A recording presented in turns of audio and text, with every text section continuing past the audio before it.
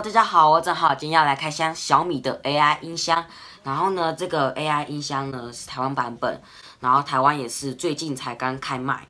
对，然后它的功能呢虽然比大陆版本的少一点点，对，但是它还是可以用的。然后它可以控制你们家的那个控制家家里的智慧灯具啊，或者是小米空气清净机。那个米家扫地机器人、米家 IH 电子锅、电风扇、智慧插座，这些都是可以，就是靠这台小爱同学去做控制的。那我们现在就来把它打开吧。然后这已经打开来看过了，然后这个已经跟米家的 App 做配对过了，有点难开。好，然后这个就是它的电源线，对。电源线，然后这就是它的音箱啦，音箱长这样，对，然后这边就是那个它的说明书，对，好，先把盒子放在旁边，然后这个音箱呢，它的设计我觉得就是有点怪怪的，因为这个点点，对。然后它的电源呢，就是要把它插在这边，我们就插进去，插电源看看到底是不是可以正常的运作。Let's go。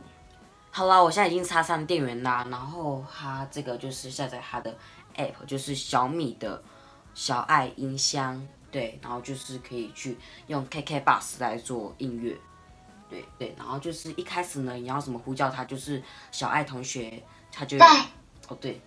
小爱同学就是有这个，好，然后就可以问他，小爱同学，明天会下雨吗？明天会下雨吗？是的，桃园市明天雨转阵雨，记得带伞。然后他声音有点大声的话，你就跟他讲说，小爱同学，哎，小声一点。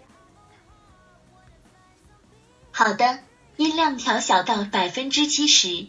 对，然后它这个音箱呢，我其实是。觉得还蛮喜欢的啦，但是它好像可以连手机的蓝牙，然后用手机里面的音乐来播放。但是我刚才好像有试过，它只能用 KK Bus，对，然后这是唯一的缺点。它应该是可以用手机的蓝牙播音乐，但是我这个还没研究到，所以呢还不知道。对，然后就可以跟小爱同学聊天啦。哎，小爱同学，哎，播放音乐，请先在小爱音箱。App 中绑定 KKBOX 音乐账号，就能享受好音乐了。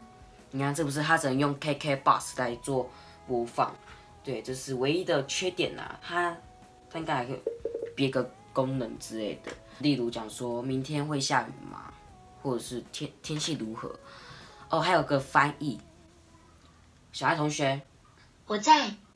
你在干嘛的？英文怎么说？What are you doing？对，然后呢，他还有个学狗叫啊，学动物叫都 OK 的。小爱同学，我在。狗的叫声什么叫？狗子的声音。好真实哦，太真实性了。然后我们就可以用什么？小爱同学，我在。河马的声音什么叫？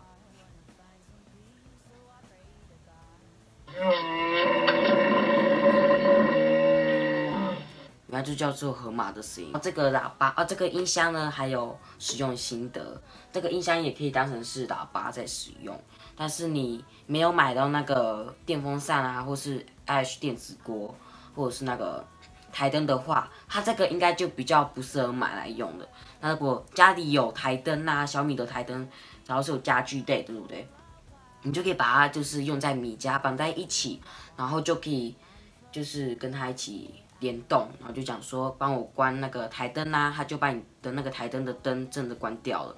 我我是看别人开箱过，但是呢，因为我现在目前家里还没有台灯，然后也没有什么 i i h 电视锅，所以我就没办法测试给你们看。那等下次就是有那个那个东西的话呢，我就会就是一起测试给你们看。然后今天就是开箱这个小米的 i h 电子锅，那我觉得还是还蛮值得购买的。那个 a i 音箱的话呢？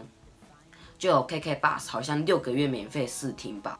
好啦，我的影片结束了，那个小的影片就在底下按喜欢。那有什么问题呢？可以大家留言，并且分享那个小就这种的影片，就在底下按订阅，并开启铃铛，这样有新影片才会收到通知哦。那我们下一部影片见，拜拜。